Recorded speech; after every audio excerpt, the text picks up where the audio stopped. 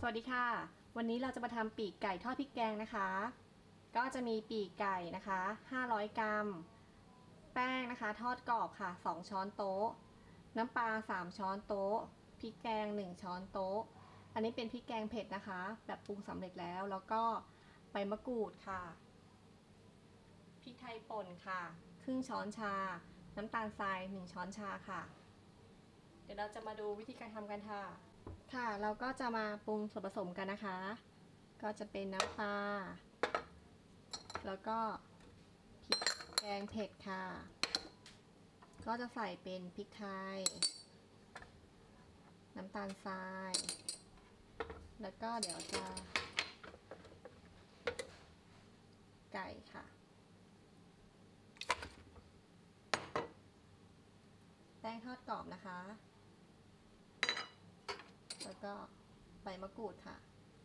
เดี๋ยวเราจะคนส่วนผสมให้เข้ากันนะคะ แล้วก็หมักทิ้งไว้ประมาณครึ่งชั่วโมงค่ะ ถ้าเกิดใครมีเวลาหน่อยก็หมักไว้เป็นชั่วโมงเลยก็ได้นะคะ จะได้แบบเข้าเนื้อค่ะเดี๋ยวเราก็จะคนไปเรื่อย ๆ นะคะ เดี๋ยวเราก็ใส่น้ำเย็นจัดนะคะ ประมาณ 2 ช้อนโต๊ะค่ะ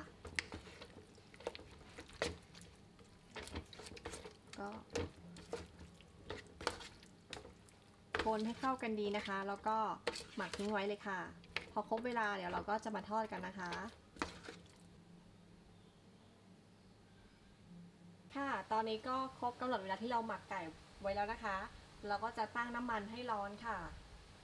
แล้วก็เดี๋ยวลองพอน้ำมันร้อนแล้วก็ใส่ไก่ได้เลยค่ะ ร้อนประมาณนี้ก็ถือว่าใช้ได้แล้วค่ะ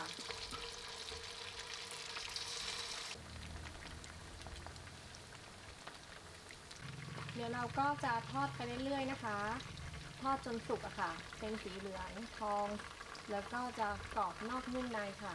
พอไก่เราสีเหลืองประมาณนี้นะคะใกล้จะได้แล้วค่ะ แล้วเดี๋ยวเราก็ใส่เป็นใบมะกรูดนะคะ ลงไปทอดเลยค่ะ